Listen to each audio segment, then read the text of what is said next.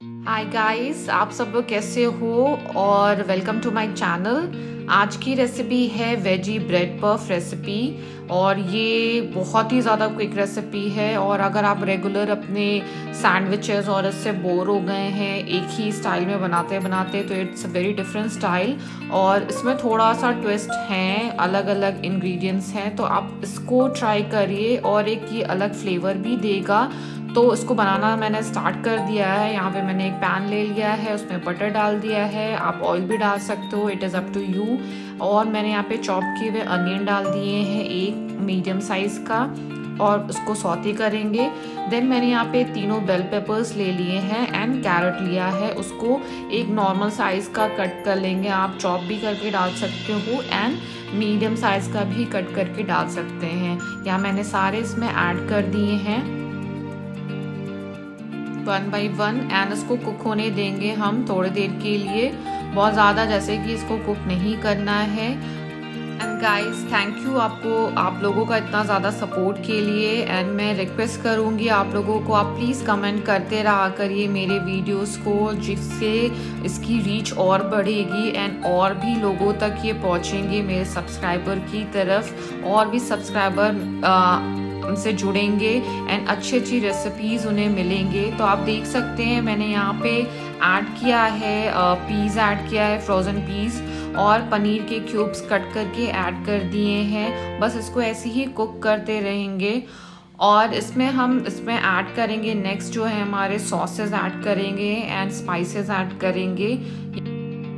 Guys please मेरे videos को share करिए अपने फ्रेंड्स एंड रिलेटिव्स में, जिससे मेरे सब्सक्राइबर्स की रीच बढ़े एंड मेरे बहुत सारे यूज़र्स हों।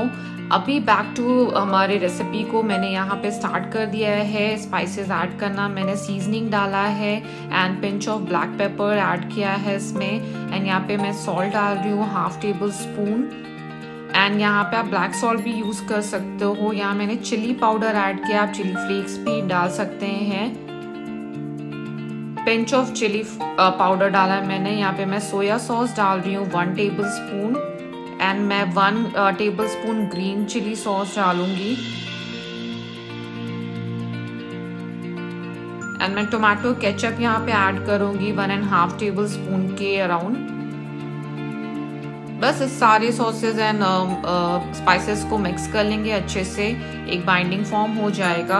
एंड लास्टली मैं यहाँ पे चीज़ ऐड करूँगी मोजरेला चीज़ वो आपके ऊपर है, आप स्किप भी कर सकते हैं। अगर आपको चीज़ अवॉइड करना है, यहाँ पे मैंने स्प्रिंग अनियन डाल दिया है थोड़े से।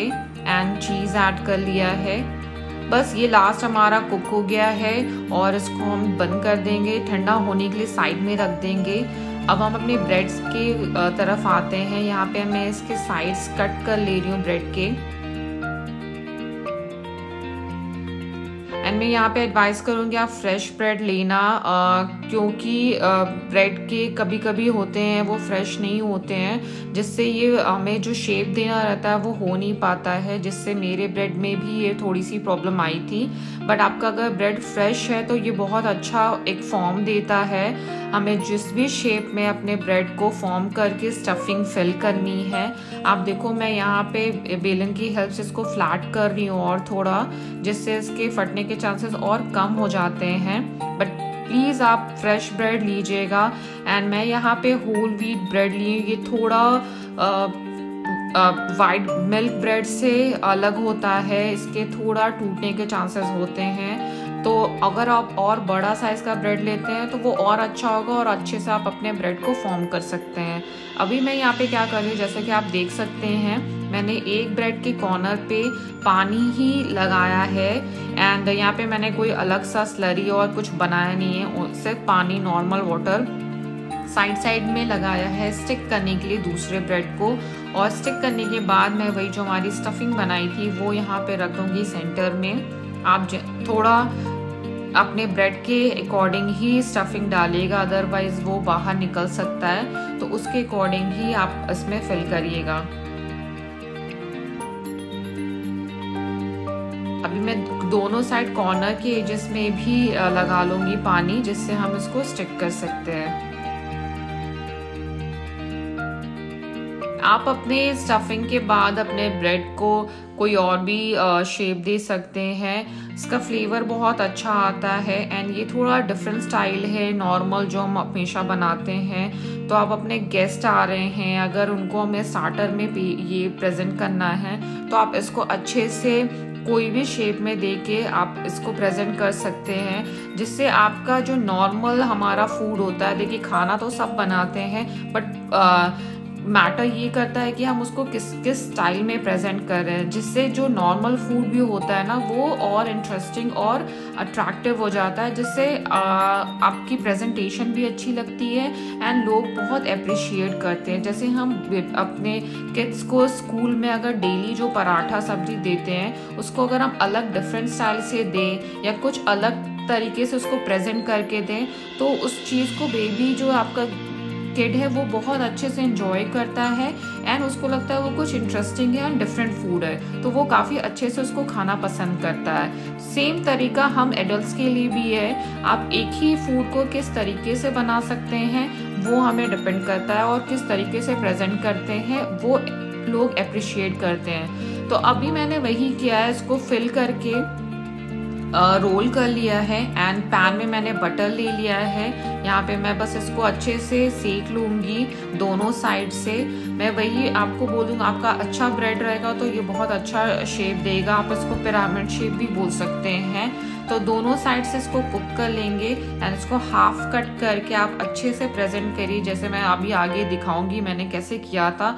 ये नॉर्मल आपका भी जो डिश है वो कितना अट्रैक्टिव लग सकता है it is up to you आप कैसे इसको प्रेजेंट कर सकते हैं। तो आई होप कि मेरी ये चीज़ और मेरा ये एफर्ट आप लोगों को अच्छा लगा होगा एंड आपसे, आपको शायद कुछ आइडिया मिला होगा इससे अपने डिशेस को प्रेजेंट करने का एंड उसको और अच्छा यूज़ करने का।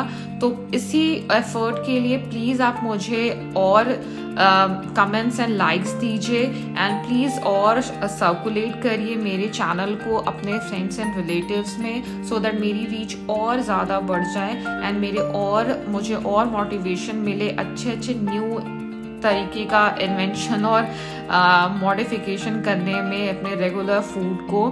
तो थैंक यू एवरीवन ऐसे ही हमें सपोर्ट करते रहिए एंड एंजॉय करिए ये डिश को, ज़रूर ट्राई करिएगा एंड मुझे कमेंट ज़रूर बताइएगा each and every one please आप लोग मुझे कमेंट करिएगा एंड बताइएगा कि आपने ये मेरी डिश को ट्राई किया कि नहीं और आप, आपने कैसे डिफरेंट स्टाइल से इसको बनाया है। आप देखो इसकी लुक कितनी ज़्यादा अच्छी आई है।